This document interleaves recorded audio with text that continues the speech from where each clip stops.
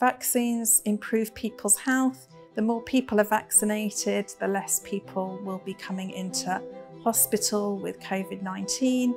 So it's really important that we think about how we might help people make informed decisions about vaccines because no one wants to force anybody to have a vaccine against their will, but we want to help people make informed decisions and check that they can process and understand all the information to make the right decision. My research is in making medicines and making vaccines. So I go to conferences where we talk the science, the lab science about making it and how we're having trouble making it. At one conference, there was this one presentation where somebody talked about vaccine hesitancy, and I was really shocked. I had never come across it that people would refuse something that's supposed to be good for them.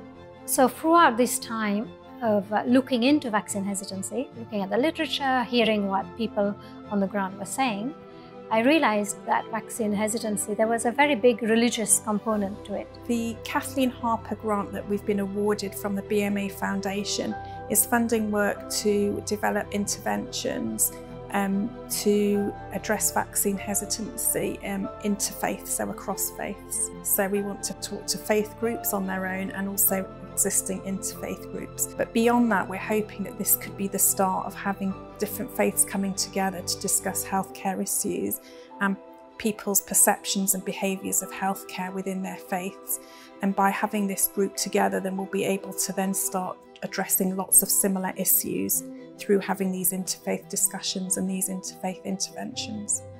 Even though we said that religion is uh, stated by many people as a reason for being vaccine hesitant, most religious people are not vaccine hesitant. Most religious people are taking the vaccine. The problem is uh, when some vaccine hesitant people can influence the bigger silent majority.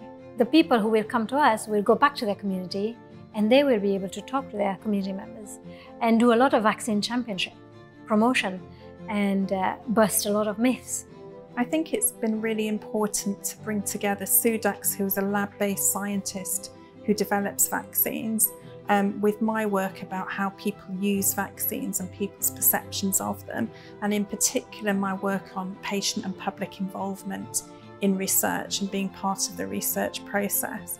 Because I think that there can be a disconnect between the people who are making vaccines and the people who are actually going to use the vaccines. And the earlier in the process that we account for people's preferences and needs and beliefs, um, the more that that's going to be integrated into the way the vaccine's developed. So, doing research that will help people to accept vaccines enhances my other research on making vaccines.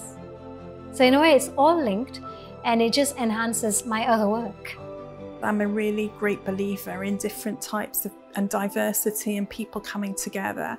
So being myself as a faith and being um, myself having seen the benefits of different faiths coming together and seeing how much commonality that there are between people and how that can grow and enhance each different person's faith by talking to people from other faiths, then I was just really passionate about being able to apply that to my healthcare work I do.